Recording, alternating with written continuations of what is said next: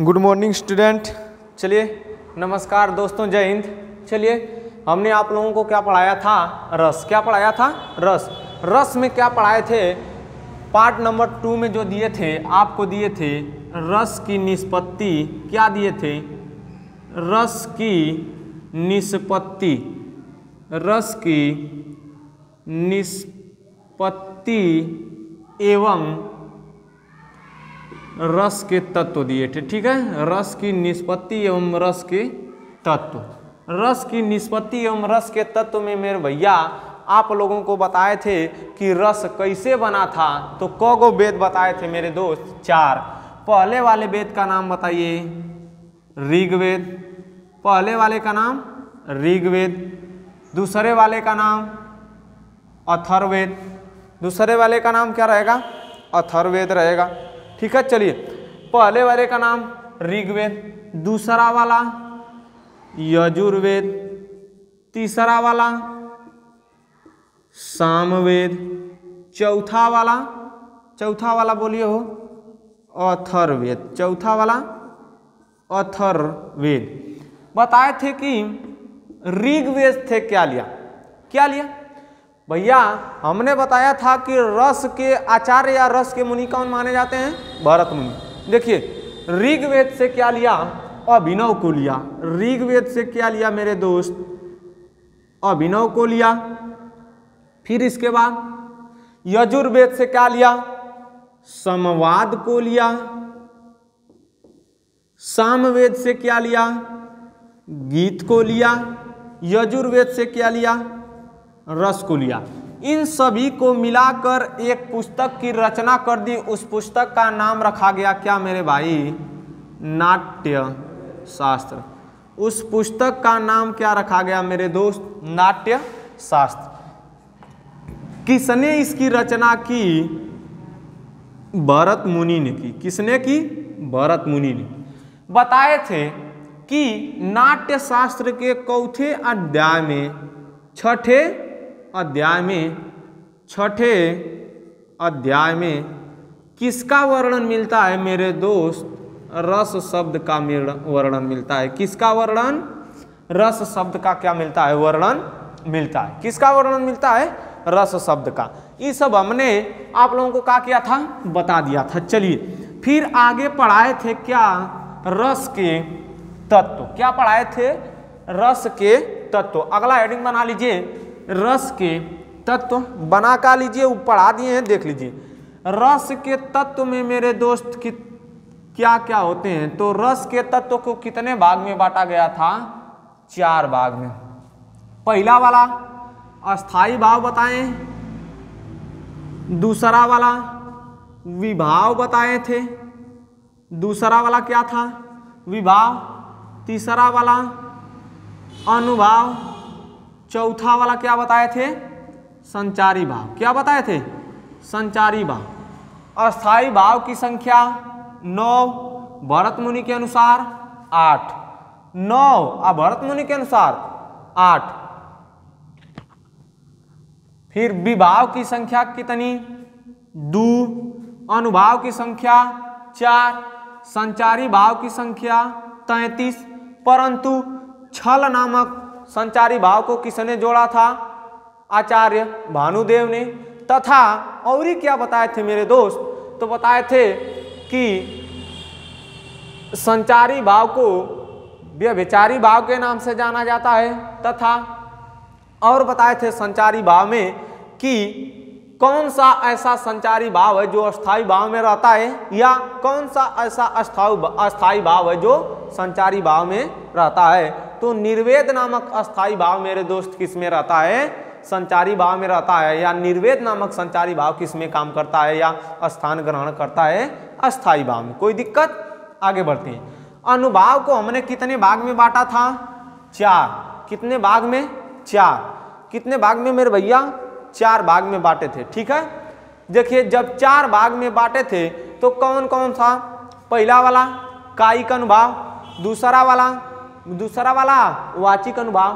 तीसरा वाला मानसिक अनुभाव। चौथा वाला क्या था? मानसिक को ही आर्य अनुभाव के नाम से जाना जाता है, ठीक है? गलती मत करिए बैठ कर गलती ना। पाँच, चौथा वाला क्या मिलेगा आपको? सात्विक अनुभाव। चौथा वाला सात्विक अनुभाव। अर्थात वे अनुभाव जो वाचिक बोल कर किए जाएँ, वाचिक अनुभाव, वे अनुभाव जो मन से किए जाएँ, मानसिक या आहार्य अनुभाव और वे अनुभाव, जो कौन से अनुभाव कहे जाएँगे? शरीर के द्वारा की गई क्रिया के द्वारा प्रस्तुत किए जाएँ, जैसे नायक नायिका का मिलने के बाद चुंबन करना। क्या करना? चुंबन करना। ये सब किसमें आएगा? उसी में आएगा। किसमें कायिक में आएगा। और ये लास्ट वाला है सात्विक अनुभाव। लास्ट वाला, सात्विक अनुभाव। अर्थात वे अनुभाव जो शरीर के एका, शरीर के द्वारा किया जाए, परंतु एकाएक किए जाएँ उन पर न ही शरीर का नियंत्रण रहता है और न ही मनुष्य का नियंत्रण रहता है। उसको कौन सा अनुभाव कहते हैं? सात्विक अनुभाव। कौन सा अनुभाव? सात्विक अनुभाव। और सात्विक अनुभाव को हमने क्या कहा था कि बताएँगे। क्या कहा था? बताएँगे। चलिए देख लेते हैं। सात्विक अनुभाव को बताना है। आप लोगों को आश्रय और उद्दीपन बताना है। तो अनुभाव या पहले हेडिंग बना लीजिए, विभाव। केवल हेडिंग बनाइए क्या? विभाव। पहले आप हेडिंग बना लीजिए मेरे दोस्त, क्या? विभाव। क्या करिए? विभाव। चलिए, दिख नहीं रहा है तो आपको फिर से नीचे बना देते हैं। हेडिंग बना लीजिए आप लोग, क्या? विभाव। आप विभाव में आप क्या करिए? कितने प्रकार का होता है? दो प्रकार का। पहला वाला बोलिए, आश्रय। पहला वाला क्या मिलेगा? आलंबन विभाव दूसरा वाला क्या मिलेगा? उद्दीपन विभाव चलिए, अब बताए थे आलंबन विभाव कितने प्रकार का? दो प्रकार का। पहला वाला, आश्रया लंबन। दूसरा वाला, विषयालंबन। विषया लंबन चलिए। फिर बताए थे कि उद्दीपन मेरे भैया कितने प्रकार का होता है? दो प्रकार का। पहला वाला उद्दीपन, स्वकीय उद्दीपन। और दूसरा वाला, परकीय उद्दीपन। दूसरा वाला, परकीय उद्दीपन। ठीक है? चलिए, अब देख लेते हैं। स्वकीय उद्दीपन और परकीय उद्दीपन। ठीक है? आगे देखिए। आश्रय और आलंबन किसे कहते हैं? पहले हमको बताइए अस्थाई भाव जान गए? जान गए आप लोग ना? चलिए ठीक है, तब बताइए अस्थाई भाव किसे कहते हैं? आराम से बैठे बैठे बता दीजिए, जल्दी से। बोल दीजिए हाँ ई से। चलिए, सुन लेते हैं, मैं भी बता देता हूँ कि अस्थाई भाव वे भाव होते हैं जो किसी नायक, नायिका या किसी पाठक या किसी श्रोता के मन में क्या होते हैं, सुसुप्ता अवस्था में बैठे रहते हैं, परंतु उचित कारण आ जाने पर क्या हो जाते हैं? उद्दीप्त हो जाते हैं या जागृत हो जाते हैं। क्या कहलाते हैं? अस्थाई भाव। विभाव क्या होता है? चलिए, देख लेते हैं विभाव। अस्थाई भाव को जन्म देने वाली क्रिया। अस्थाई भाव को जन्म देने वाली क्रिया या कारण। अस्थाई भाव को जन्म देने वाली क्रिया या कारण क्या कहलाता है मेरे भैया? विभाव। क्या कहलाता है? विभाव। विभाव कितने प्रकार का? दू। पहला वाला आलंबन, दूसरा वाला उद्दीपन। पहला वाला आलंबन विभाव, दूसरा वाला उद्दीपन विभाव। आलंबन विभाव कितने प्रकार का होता है? कितने प्रकार का होता है? दो प्रकार का। पहला वाला आश्रय आलंबन, दूसरा वाला विषय आलंबन। अब कहेंगे कि आलंबन का होता है तो नायक या नायिका, दोनों आलंबन हो सकता है। कभी नायक आलंबन होगा, कभी नायिका आलंबन। कभी नायक उद्दीपन होगी तो कभी क्या होगा? नायक की चेष्टाएँ, नायक की बनावट, नायक की सुंदरता, नायिका की सुंदरता। चलिए देख लेते हैं। आलंब का अर्थ होता है भैया उस पर टिकाव करना। क्या करना? टिकाव। उसी पर जो बन जाए, उसी पर आश्रित हो जाए, उसी को क्या कहते हैं? आलंबन। जैसे गाँव में भैया मड़ई उठाओ जाए तो ठेगुनी लगे लेना उसी को कहते हैं का? आलंबन। देखिए, आलंबन मेरे भैया कितने प्रकार का? दो प्रकार का। आलंबन किसे कहते हैं? चलिए देख लेते हैं। आलंबन किसे कहते हैं? देखिए, जब भी रस में या जब कभी भी रस में क्या करना? विभाव को दो भाग में बांट दिए आलंबन में आश्रय आलंबन किसे कहते हैं? आश्रय आलंबन किसे कहते हैं? आराम से देख लीजिए, ठीक है? आश्रय आलंबन किसे कहते हैं? देखिए, आश्रय आलंबन किसे कहते हैं?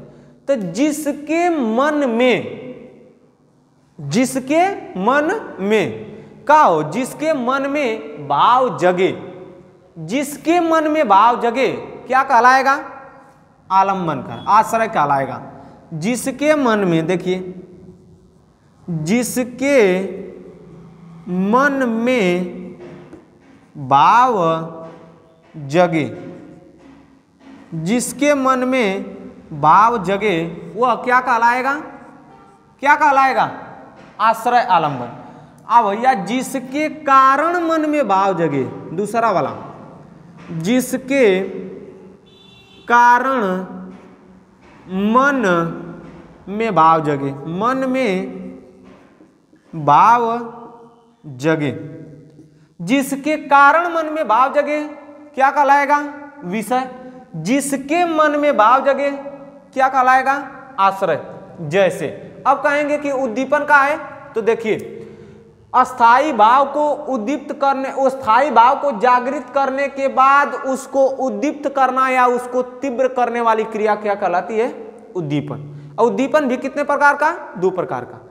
अस्थाई भाव को जागृत करने के बाद उसको उद्दीप्त करने वाली क्रिया मेरे भैया क्या कहलाती है? उद्दीपन। और उद्दीपन कितने प्रकार का होता है? दो। स्वकीय उद्दीपन, अर्थात अपने द्वारा किया गया उद्दीपन क्या कहलाएगा? स्वकीय। परकीय उद्दीपन क्या कहलाएगा? दूसरों के द्वारा किया गया उद्दीपन क्या कहलाएगा? परकीय उद्दीपन। जैसे, एक उदाहरण सुनिए, और ये आप लोगों को क्या होगा, एकदम समझ में आ जाएगा। ठीक है? देखिए, उदाहरण है आप लोगों को कि माता सीता का स्वयंवर लगा था, ठीक है? उसी समय राम जी गए थे उस स्वयंवर में। और उसी समय क्या कर रही थी? अपना देखी किसको? किसको देखी? श्री राम को देखी। किसको देखी? श्री राम को। किसको देखी?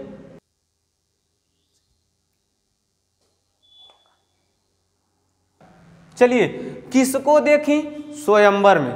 किसने देखा? सीता ने देखा। किसको देखा? श्री राम को देखा। अर्थात अपने प्रेमी को देखा। ठीक है? और उसी स्थान पर एक पंक्ति लिखी जाती है। क्या? देख लेती है। उस पंक्ति, इसको मिटा दें। मिटाने के बाद लिख देते हैं, ठीक है? चलिए, पंक्ति में क्या लिखा जाता है? देखिए, पंक्ति में लिखा जाता है, मेरे भैया, कि राम के रूप, देखिए, राम के रूप निहारती जानकी। कंगन के नग की परछाई। राम के रूप नियारत जान की कंगन के नग की परछाई। फिर दूसरा लाइन, याते सभी सुधी।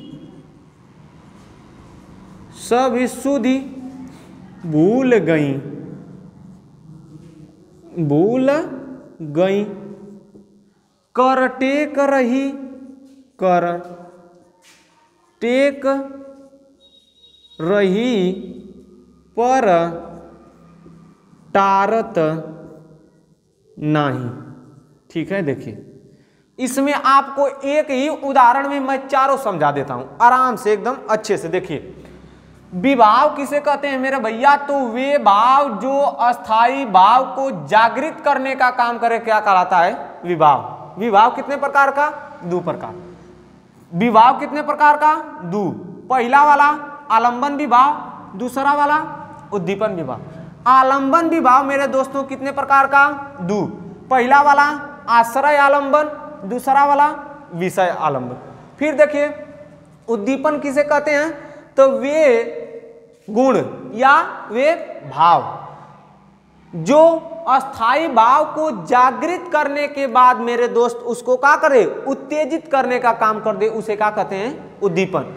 उसे क्या कहते हैं? उद्दीपन। और उद्दीपन कितने प्रकार का होता है? दो प्रकार का। पहला वाला, स्वकीय उद्दीपन। दूसरा वाला पर की उद्दीपन। अरे भैया, आप लोग देखे होंगे, गाँव में झगड़ा वगैरह होती है ना?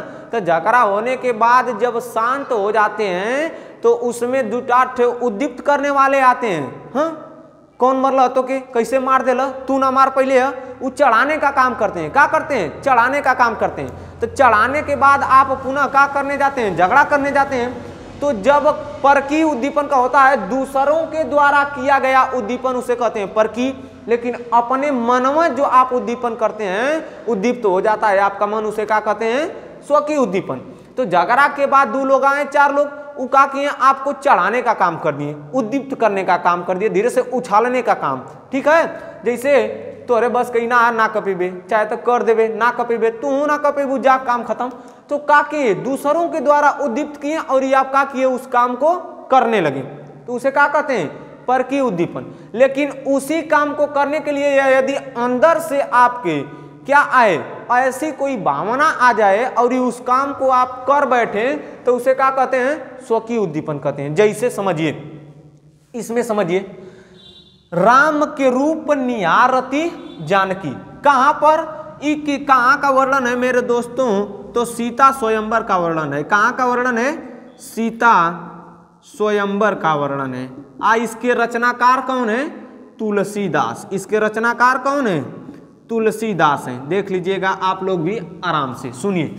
राम के रूप निहारती जानकी। जानकी मतलब सीता। जानकी मतलब सीता। सीता क्या कर रही हैं? तो राम के रूप को निहारती मतलब देख रही हैं। सीता राम के रूप को क्या कर रही हैं? देख रही हैं। आ कहाँ देख रही हैं? आँख से नहीं देख रही हैं। देखिए, उनका उद्दीपन है। आ, यहीं पर यहीं पर विषय भी बनेगा, यहीं पर आलंबन भी बनेगा। देखिए।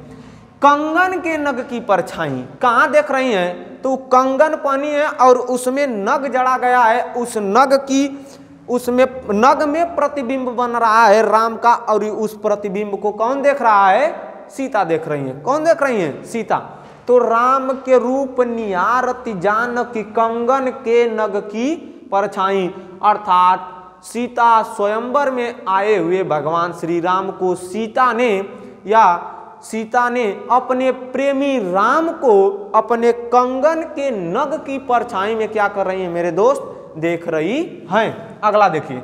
याते सब सुधी भूल गई। आ देखत देखत इतनी भुला गई ऐसा भुला गई बिया कि याते सब सुधी भूल गई। देखते देखते ऐसे भूल गई हैं। आ कैसे देख रही हैं? तो कर टेक रही पर टारत नहीं कर मतलब हाथ को टेक मतलब ऐसे ही लगा के कर टेक रही पर टारत नहीं। उनकी भैया सखियाँ उनको चल रही हैं, चलो डलबी मलवा, चलो आओ थोड़ा माँ जोहत, बेचारू जोहत मलवा डलबी। तब वो कौन? सीता को कुछ असर असर नहीं हो रहा है। इतना तो समझ में आ गया होगा इसका अर्थ कि राम के रूप को माता जानकी कंगन के नग की परछाई में देख रही हैं। याते सब शुद्ध भूल गई और उनके उनके देखने में, उनको देखने में इतना उल्लीन हो गई हैं कि याते सब शुद्ध भूल गई। शुद्ध बुद्ध खो बैठी हैं कि हमको स्वयंवर में जाना भी है। और कैसे बैठ कर देख रही हैं? तो अपने हाथ को कर मतलब हाथ को टेक मतलब आलम्ब देकर बैठी हैं और क्या कर रही हैं, उनकी सखियाँ हिला रही हैं। ए सीता चलबू और राम जो हथ तब वो नहीं जा रही हैं, ठीक है? तो देखिए, अब इसमें हम बताएँ कि जिसके मन में का हो भाव जगे। क्या कहलाएगा? आश्रय कहलाएगा। तो किसके मन में यहाँ पर भाव जगा है? जानकी के मन में। किसके मन में? जानकी के मन में। आपसे पूछेगा इस पद्य को या इस लाइन को देकर पूछे कि इसमें आश्रय क्या है? तो आश्रय क्या हो जाएगा मेरे दोस्त? सीता हो जाएँगी। कौन हो जाएँगी? सीता। किसके मन में भाव जग रहा है प्रेम का? सीता के। किसके मन में? सीता के मन में, किसके कारण जग रहा है मेरे दोस्त? राम के कारण जग रहा है। किसके कारण? राम के कारण जग रहा है। ठीक है? तो विषय क्या हो जाएँगे? राम। आश्रय क्या हो जाएँगी? सीता। फिर कहेंगे कि उद्दीपन क्या है भैया? पूछ रहे हैं तो उद्दीपन देखिए क्या होगा। उद्दीपन मेरे दोस्त क्या होगा? बताएँ, परकीय उद्दीपन, दूसरा वाला, स्वकीय उद्दीपन। उद्दीपन कितने प्रकार का? दो प्रकार का। पहला वाला देखिए, स्वकीय उद्दीपन, परकीय उद्दीपन। तो अपने द्वारा किया गया उद्दीपन क्या कहलाएगा? स्वकीय उद्दीपन। अपने द्वारा किया गया उद्दीपन क्या कहलाएगा? स्वकीय। तो सीता कहाँ पर देख रही हैं? कंगन में। आ कंगन की नग में देख रही हैं। किसको देख रही हैं? राम को। राम विषय, सीता आश्रय, कंगन और राम को कंगन के नग में देखना क्या हो जाएगा? स्वकीय उद्दीपन। राम को कंगन के नग में नग में देखना। राम को कंगन के नग में देखना क्या हो जाएगा? स्वकीय उद्दीपन हो जाएगा। अब कहेंगे कि परकीय उद्दीपन का है? तो राम को इतना देख लिए हैं, इतना देख लिए हैं कि क्या हो गई हैं? भूल गई हैं। अरे भैया, रामो, कुछ कैलो ऐसा काम। तो राम का मुस्कुराना, राम का तिरछी नज़र करके देखना, राम का हंसना ये सब का हो जाएगा परकीय उद्दीपन।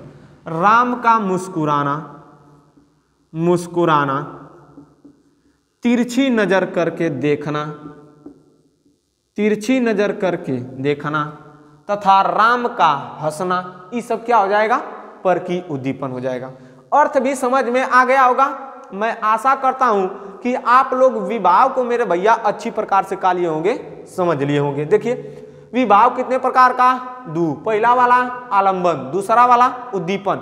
आलंबन विवाह कितने प्रकार का? दू, आश्रय आलंबन, विषय आलंबन। उद्दीपन कितने प्रकार का? दू, पहला वाला स्वकीय दूसरा वाला परकी अपने द्वारा किया जाए स्वकीय दूसरों के द्वारा किया जाए परकी जिसके कारण मन में भाव जगे, विषय। जिसके मन में भाव जगे, आश्रय।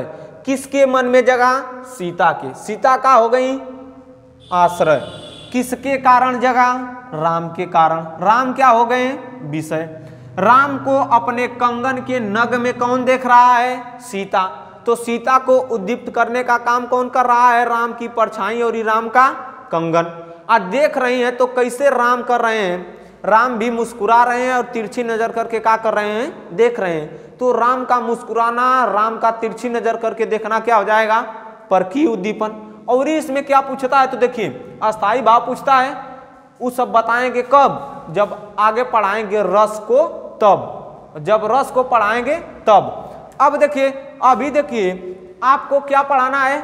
अनुभाव पढ़ाना है। क्या पढ़ाना है? अनुभाव। चलिए, जल्दी से इसको स्क्रीन शॉट लेना है तो मेरे दोस्त ले लीजिए, या तो जल्दी से मैं इसको क्या करूँगा? मिटाने का काम करूँगा। चलिए, ठीक है। आप लोग बता दीजिए, अनुभाव कितने प्रकार का होता है तथा कौन कौन सा होता है? चलिए जल्दी जल्दी आप लोग लिखने का और देखने का काम करिए, ठीक है? अनुभाव देख लेते हैं। क्या होगा भैया?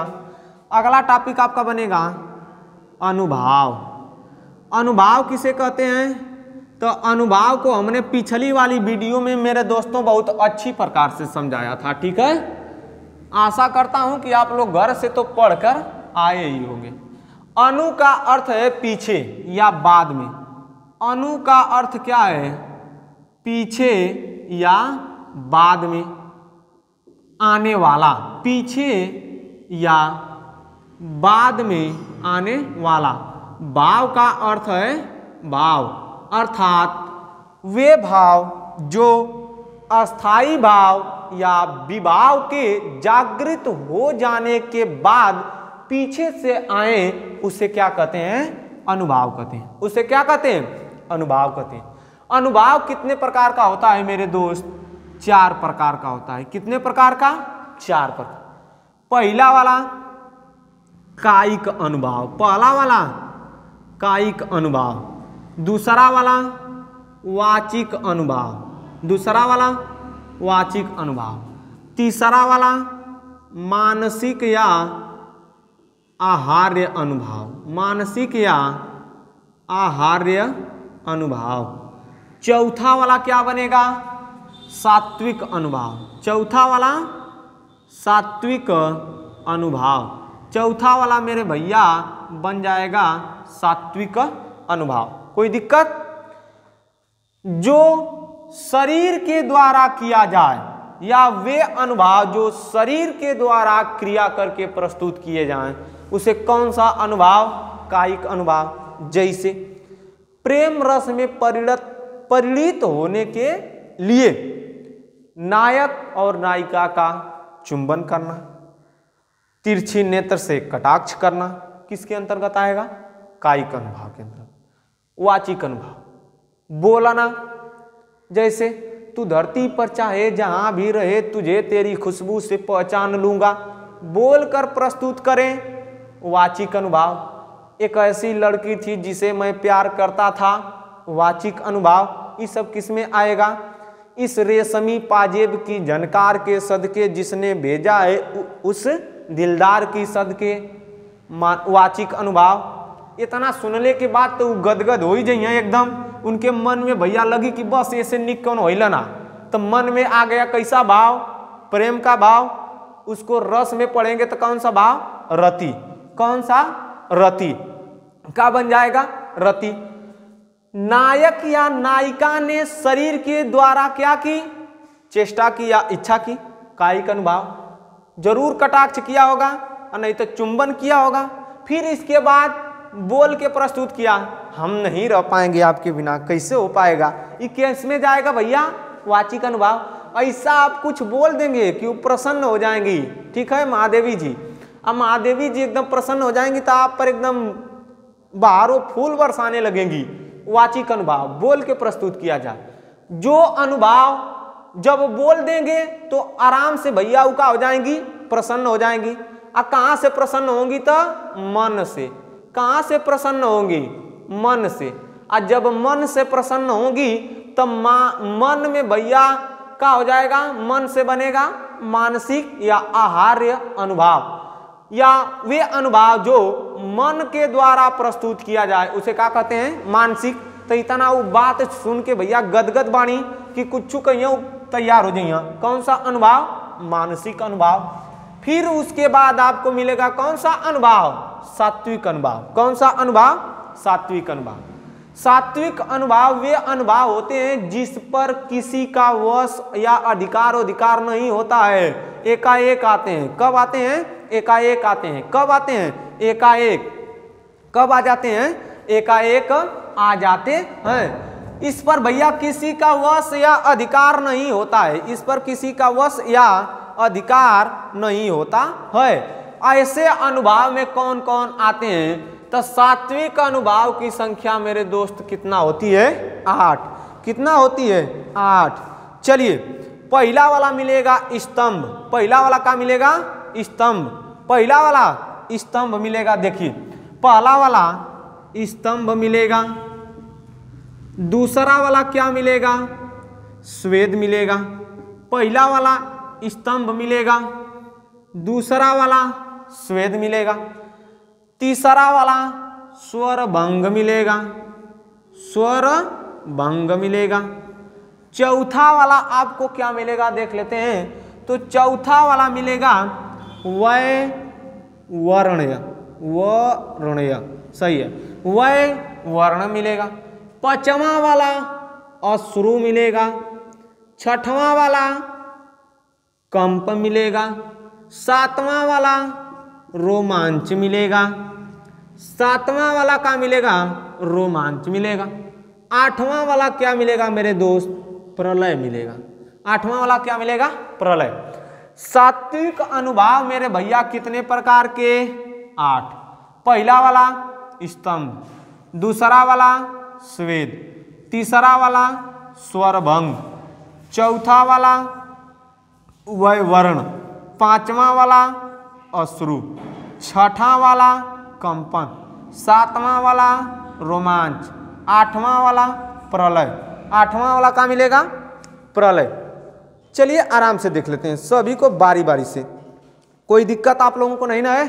पीछे पीछे एकदम शांति से बैठे हैं ना। अगर पूछब, अगर करा चूल चाल तो। पूछब ना तो जनता हुआ लोगन का करीला ठीक है? चलिए देख लेते हैं। पहला वाला आपको क्या मिलेगा? स्तंभ। अर्थात वे सात्विक भाव। वे सात्विक भाव।